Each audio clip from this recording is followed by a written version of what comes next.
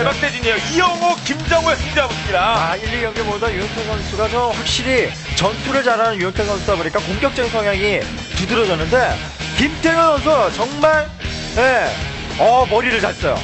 예, 그 어떤 지능적인 플레이로 상대의 어떤 성향에 맞춰서 굳이 무리를 안 합니다. 네. 그러니까 첫 경기는 상대 공격하니까 막 공격하다가 다 했거든요. 그러니까 두 번째 경기 수비 아닐까 완벽 수비가 이루어지면서 한발 끝났어요. 그렇습니다. 김태경 선수가 견제가 상대방을 오히려 도발하게끔 만들어서 상대방이 오게끔 만들거든요. 그리고 자신은 자신이 가장 유리한 타이밍에 그때 들어가는 선수가 김태경이죠. 그렇습니다.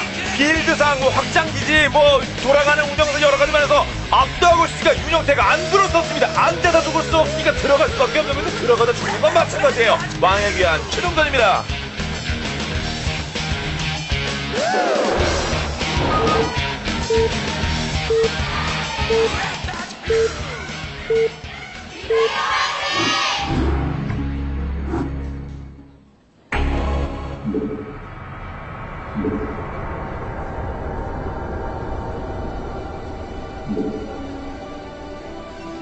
네, 경기 시작됐습니다. 3세트. 16강 제1경기 마지막 세트예요. 윤영태입니다. 노란색 프로토스 미니맵상. 그리고 이에 맞서 이제 붉은색 김태경입니다. 2세트 잡고 3세트까지 왔어요. 왕의 귀환 같은 맵은 어 1경기에 나왔었던 그런 안정적인 셔틀 속업이라기보다는 오히려 이 맵에서는 셔틀 속업이라는 것 자체가 좀 양날의 검이 돼버릴 가능성이 높거든요. 그렇기 때문에 양 선수 둘 다 셔틀 속업을 생략할 가능성이 굉장히 높고요. 오히려 셔틀 속업을 셔틀 속업을 생각을 한다면은 예, 셔틀이 한번 잃게 되면 거기서 경기가 급격하게 기우기 때문에 잘 생각하고 예, 빌드 선택해야 됩니다. 패승승, 패승승승까지 갔으니까 이재동도 그렇고요. 그렇죠. 네, 아무래도 뭐 본진의 어떤 그 진영 자체가 수비하기 또 용이하기 때문에 예, 정말 셔틀을 무리해서 쓰기가 굉장히 까다로운 맵이죠. 그러다 보니까 말씀하신 것처럼 예, 그런 견제가 주를 이루기보다는 오히려 윤용태 선수도 예, 견제로 이 판을 끌어가기보단 말이죠. 자신의 가장 큰 강점이 뭡니까? 전투 아닙니까? 센터에서의 어떤 그 전투를 유도를 해야 됩니다. 예, 그렇습니다. 특히나 이 왕의 귀환 같은 맵은 이 본진이 굉장히 넓기 때문에 pylon 시야를 많이 밝히고 넓게 밝힐 수가 있어요. 그런 부분들을 생각한다면 좀 안전하게 멀티를 좀 가져가는 가져가는 편이 굉장히 좋고요. 네, 그러는 가운데 먼저 움직이는 쪽은 정찰이 김택용입니다. 가로 방향으로 정확히 하고 있어요. 네. 아, 네. 오늘 김태경 선수 정찰이 예. 와, 대박인데요. 네. 그냥 가면은 거기 있어요, 상대방이. 그렇죠. 네. 김태경이 가는 쪽에 뭐 그 정해지는 것도 아닌데 아, 첫 정찰 계속 성공하고 아, 있습니다. 그리고 윤영태 선수가 조금만 프로브가 일찍 나왔었다면은, 네, 네, 한 11시 지역에서 오는 프로브 방향을 확인할 수가 있었는데, 아, 네, 좀, 그 부분이 네. 좀 애매해서 윤영태 4인용 선수 맵이에요. 한참 네. 걸려요. 그렇죠. 메르 파일럿 지금 가능하기 때문에 이거 아. 파워를 오 세워놨어요. 다행히. 아, 네, 아래쪽은 기회가 있었는데, 김택용 선수가 욕심이 좀 많았어요. 네. 만약에 다섯 시 가서 없으면 바로 대각선으로 가야죠. 네. 우리가 견제하는 저 probe 움직임도 이게 다 그 loss거든요. 다 손해예요. 빨리빨리 그 걷어내야 됩니다. 네, 그렇습니다. 뭐 이렇게 되면 이중고에 시달리게 됩니다. probe를 예, 써, 그 정찰간 probe 한 마리와 본진의 probe 한 마리를 저렇게 계속 대기 시켜놔야 되기 때문에 초반에 자원적으로 손해가 굉장히 많죠. 야 이게 pylon 정찰을 왔을 수도 있다고 생각하는 건가요? 어, 일단 아, 그래? 5시, 7시까지 네. 가나요? 대각선으로? 네, 대각 정찰을 왔다라고 네. 생각할 수도 있을 것 같습니다. 아 그래도 빼네요. 예.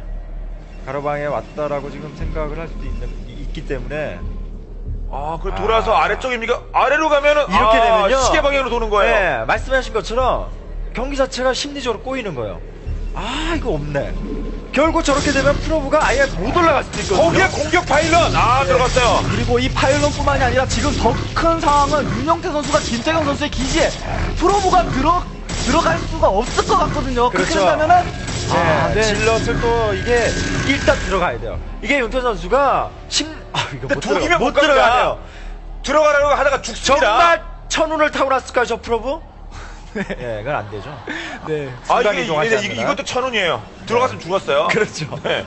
네, 이렇게 되면은 김태경 선수는 빌드를 선택해서 예, 선택해서 하면 되고 윤용태 선수는 최대한 안전하게 build를 선택할 수밖에 없죠. 모르니까요. 네, 그 안전하게 선택하는 build에 한 템포 막 예, 앞서 나 가는 build를 김택용 선수를 선택을 하겠죠. 굳이 여기서 뭐, 예, 사업 안 하고 다른 어떤 그 기점기 쓸 수 있겠지만, 그럴 필요는 굳이 없거든요. 근데 윤용태는 얼마나 복잡하겠습니까? 그리고 저 probe가 zealot이나 dragoon에 왜 죽지 않았기 때문에 센터에다가 probe만 가만히 놔두더라도 윤용태 선수 입장에서는 적극적으로 예, 견제를 갈, 수- 예, 지상군이 갈 수가 없습니다. 왜냐하면 네. 그 견제가는 타이밍에 probe가 다시 들어오면은 또 다시 뭐 발가벗고 경기하는 거랑 마찬가지거든요. 저 probe 운이 없네요. 결국 죽었어요. 네, 안쪽 들어가지도 못하고 정찰도 못하고 정찰은 정찰대로 못하고, 예, probe도 잃고. 김택용 선수 probe 살려갖고 왔죠. 네, 지금 사이버넷 스코어를 계속 강조하고 있어 observer가요. 이번 경기에서도 윤용태 선수가 한 번 더 예, 셔틀 소금을 생각하는 모습이고요. 김택용 선수는 이렇게 하면서 앞마당 멀티를 가져갈 가능성이 굉장히 높은데 아 윤용태 선수 정말 셔틀 소금에서 견제갈 때그 한 번밖에 네. 시간이 없거든요. 지금 김택용 선수는 예, 안전한 운영이 맞네요. dragoon 사업까지 해주게 되면 상대의 어떤 그 build를 굳이 보지 않더라도 reaver가 나와도 수비 용도로 쓸 가능성이 높거든요. 아, 그럼요. 예, 결국 그런 상황이라면은 앞마당 멀티의 어떤 타이밍도 김택용 선수가 더 빠를 수가 있습니다. 과감한 전략이 안 통하면 끝이에요. 그리고 예, 유- 김택용 선수가 저번 예, 송병구 전에서 셔틀 소금으로 재미를 못 봤었거든요. 그런 부분들을 생각한다면 자신이 예, 쓴 build를 상대방이 쓴다. 그렇다면 그것만큼 또 막기 쉬운 게 또 없지 않습니까? 그럼요. 네, robotics support까지 가고 있습니다.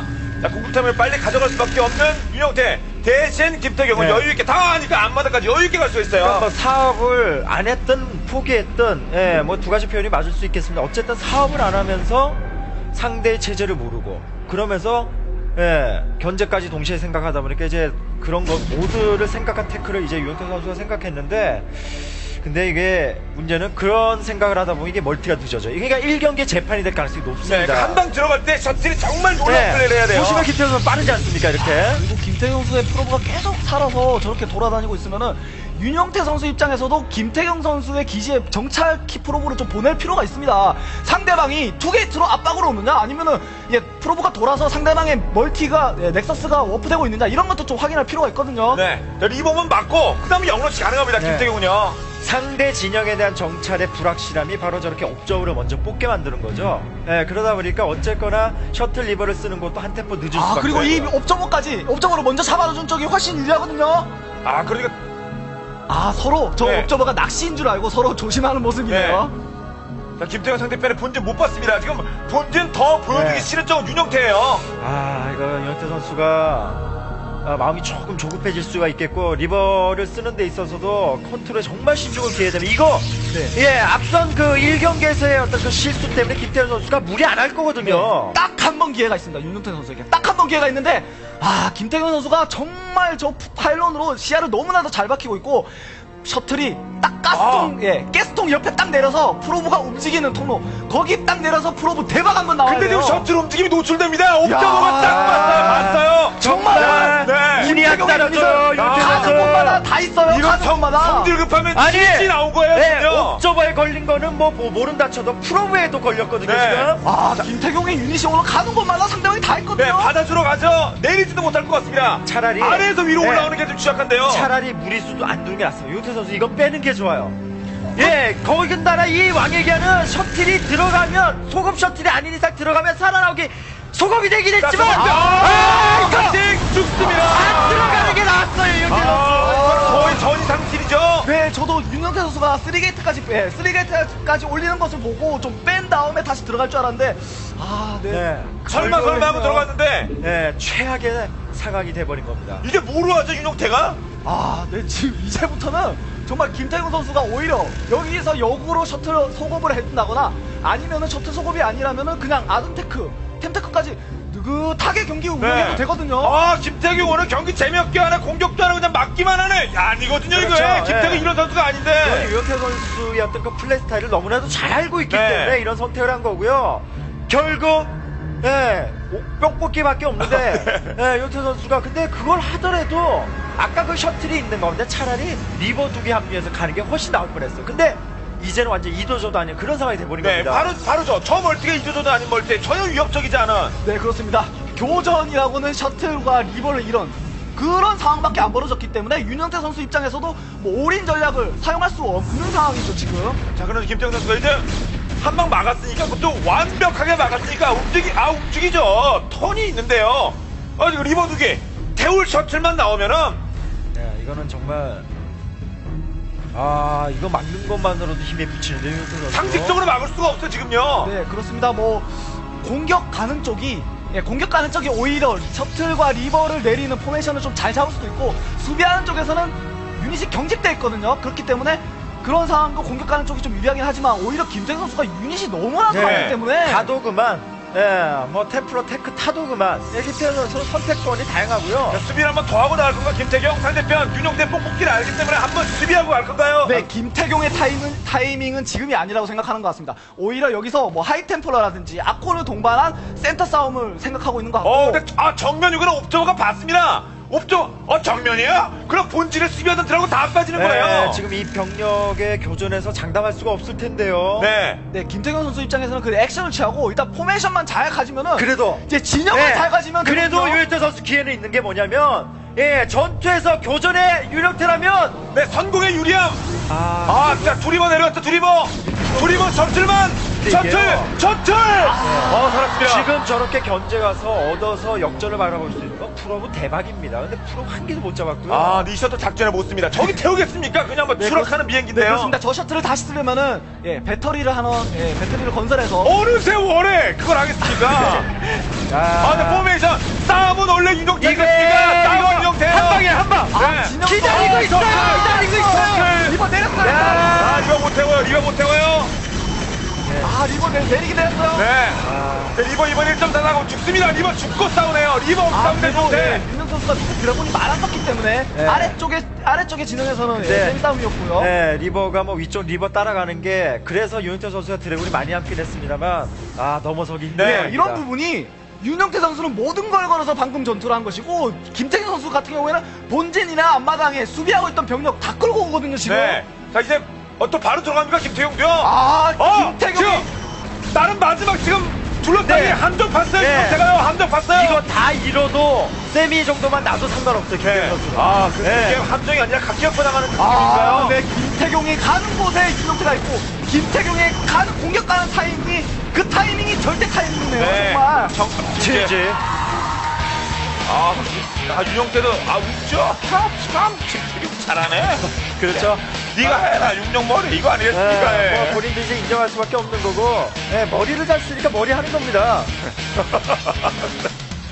네, 이제 머리 그런가요? 얘기는 김태경 선수에게 좀 쓰게 뭐, 몸하는 거. 네, 어쨌든 뭐 네, 머리, 아, 머리 잘 써야죠. 같이. 그렇죠. 싸면. 네, 지능적으로 어떤 그 윤용태 선수의 어떤 스타일과 네, 초반의 움직임을 잘 캐치를 해서 거기에 맞게 플레이를 잘했습니다. 네. 공격 지향적인 윤용태를 상대로 해서 첫 경기 마- 맞상대하다가 좀 뭔가 안 풀리니까 바로 안정 운영. 야, 김택용 이런 선수가 아니고 정석인 거예요. 정말 그 프로토스전을 할 때 필요할 때만 견제를 하고 예 무리하게 견제를 하지 않고 필요할 때만 견제를 하고 정말 궁극 타이밍에 때 궁극 타이밍을 잡아서 공격 가는 타이밍을 잡는 김태경 아 정말 강하네요 네, 괜히 캐스파 2등으로 여기까지 올라왔겠습니까? 그리고 태어나서 처음으로 데뷔 후 처음으로 이제 WCD 2009 8강까지 진출했습니다. 김태경 아직 갈 길이 멉니다. 잠시 후에는 캐스파 랭킹 1위가 출전합니다. 이재동과 진영 세대결로 돌아오죠.